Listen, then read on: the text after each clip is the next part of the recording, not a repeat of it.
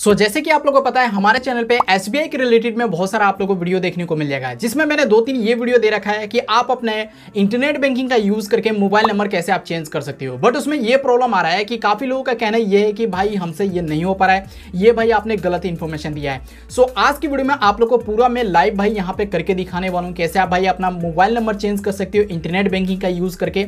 Easily आपको branch में visit करने का ज़रूरत नहीं है। आप लोग अगर ब्रांच में विज़िट करते हो तो काफ़ी ज़्यादा पंगा होता है फॉर्म भर के दीजिए, फिर आपको वेट करना पड़ता है। लेकिन यहाँ पे इंस्टेंट आप लोग का चेंज हो जाएगा। सो वीडियो को आप लास्ट तक ज़रूर देखते रहना है। इस वीडियो में आप लोग को पूरा मैं डिटेल देने वाला हूँ। सो ज़्यादा टाइम वेस्ट ना करते हुए सीधे चलिए लैपटॉप के स्क्रीन पे एंड आप यहाँ पे समझ लीजिए।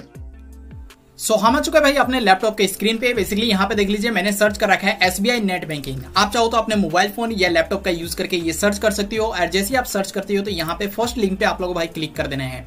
जैसे आप यहाँ पे फ़र्स्ट लिंक पे क्लिक करोगे ना तो देख लीजिए, यहाँ पे एसबीआई ऑनलाइन कॉफिन मिल जाएगा होम यहाँ पे लोन कॉफिन देखने को मिल जाएगा। इस साइड में लैंग्वेज का है, और नीचे में यहाँ पे आप देखोगे तो कंटिन्यू टू लॉगिंग आप लोग को इस पे क्लिक कर देना है। जैसे आप इस पे क्लिक करते हो तो यहाँ पे देख लीजिए लॉगिंग टू एसबीआई ऑनलाइन का ऑप्शन मिल जाएगा ऑनलाइन एसबीआई सो बेसिकली यहाँ पे अपना यूज़र नेम फिल करना है एंड यहाँ पे पासवर्ड फिल कर देना है। ये आपका जो कैप्चा इधर शो हो रहा है, ये कैप्चा आप लोग को इसमें फिल करना पड़ेगा एंड यहाँ पे देख लीजिए लॉगिंग ऑप्शन मिल जाएगा।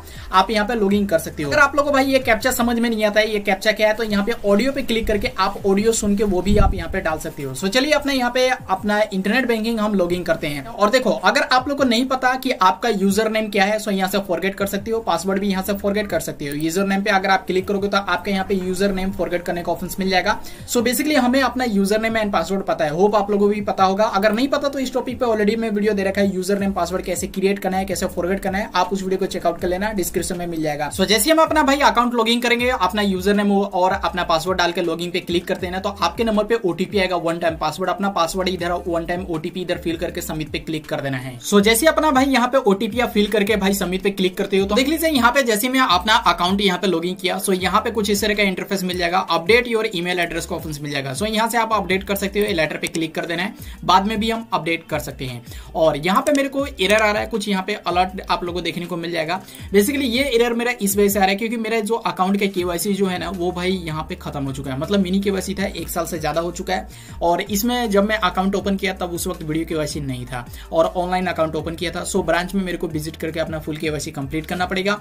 बट हम ब्रांच में विज़िट करते हैं तो हमारे ज़ीरो बैलेंस से ऑटोमेटिक भाई कन्वर्ट कर देंगे रेगुलर सेविंग अकाउंट में, जिसमें बैलेंस मेंटेन करके रखना पड़ेगा। इस वजह से मैं विज़िट नहीं कर रहा। सो एनी anyway, बाकी अब यहाँ पे देख लीजिए हम अपना कैसे अपना नंबर चेंज कर सकते हैं। सो देखो फ़र्स्ट ऑफ़ ऑल आप लोग को करना कुछ नहीं है। आप लोग को इस साइड में देख लीजिए प्रोफ़ाइल को यहाँ पे ऑप्शन मिल जाएगा। माई अकाउंट एंड प्रोफ़ाइल नीचे में प्रोफ़ाइल पे आप लोग को भाई क्लिक कर देना है। अब यहाँ पे जैसे आप प्रोफ़ाइल पे क्लिक करते हो ना तो आप लोग का यहाँ पे प्रोफ़ाइल का सेक्शन मिल जाएगा। इस पे आप लोग को भाई क्लिक करना है। जैसे आप इस पे क्लिक करते हो तो आप लोग का यहाँ पे प्रोफ़ाइल का पासवर्ड यहाँ पे पूछा जाएगा। तो बेसिकली अपना भाई प्रोफ़ाइल का पासवर्ड डाल के यहाँ पे लॉग करना पड़ेगा। और आपको नहीं पता प्रोफ़ाइल का पासवर्ड कैसे हम क्रिएट कर सकते हैं? सो ऑलरेडी मैं वीडियो दे रखा है। आप उस वीडियो को चेकआउट कर सकते हो। या यहाँ से आप भाई फॉरगेट भी कर सकते हो अपना प्रोफ़ाइल पासवर्ड सो चलिए भाई, अपने यहाँ पे प्रोफ़ाइल पासवर्ड इधर फिल करते हैं सबमिट पे क्लिक करके और आगे का आप लोग को इंटरफेस दिखाते हैं। सो देख लीजिए, मैंने यहाँ पे अपना भाई प्रोफ़ाइल पासवर्ड फिल कर दिया। तो यहाँ पे देख लीजिए, मेरा प्रोफ़ाइल का पूरा डिटेल यहाँ पे निकल के आ चुका है। जैसे मेरा नाम फ़र्स्ट नेम लास्ट नेम मेरा फादर का नेम है और मेरा पर्सनल एड्रेस है। और यहाँ पे मेरा जो डिस्ट्रिक्ट है सिटी है, वो यहाँ पे देखने को मिल जाएगा। स्टेट यहाँ पे देखने को मिल जाएगा, पिन कोड यहाँ पे देखने को मिल जाएगा।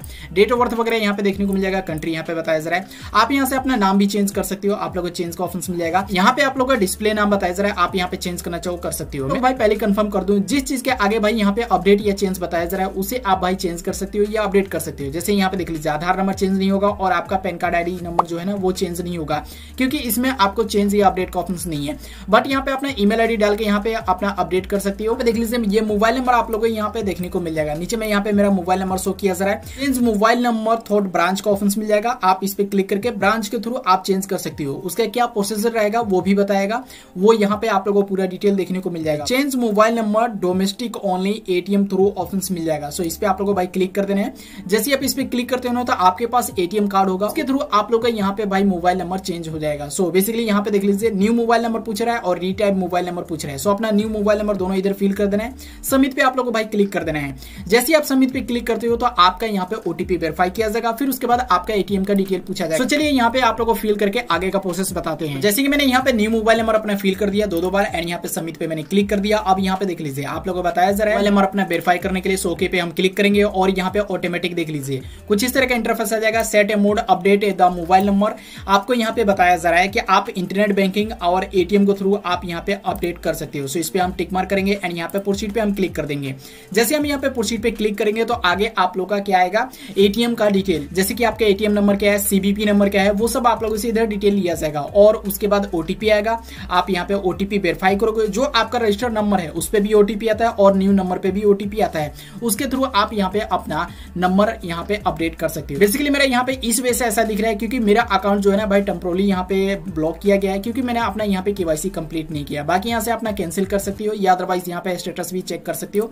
सो चलिए यहाँ से हम कैंसिल कर देते हैं। इजी है, कोई भी दिक्कत नहीं है, आप यहाँ पे अपडेट कर सकती हो। स्टेटस चेक करना है तो आप यहाँ पे क्लिक करके अपना स्टेटस चेक कर सकते हो कि आपका नंबर अपडेट हुआ है या नहीं हुआ है। तो आप लोग जो भी डाउट था, भाई क्लियर हो चुका है कि अदर इसके रिलेटेड में कोई अदर क्वेश्चन रहता है सो नीचे भाई कमेंट कर देना, मैं आप लोगों को भाई रिप्लाई कर दूँगा। तो अगर आप लोगों को भाई वीडियो पसंद आएगा, ज़रूर लाइक कर देना एंड शेयर कर देना। चलो अगर फ़र्स्ट में है तो ज़रूर सब्सक्राइब कर देना सब्सक्राइब करके बेल आइकन प्रेस कर देना, ताकि फ्यूचर में वीडियो डालेंगे, उसका नोटिफिकेशन आप लोगों को मिलता रहेगा। सो फिर मिलेंगे हम किसी नेक्स्ट वीडियो में, तब तक के लिए बाय बाय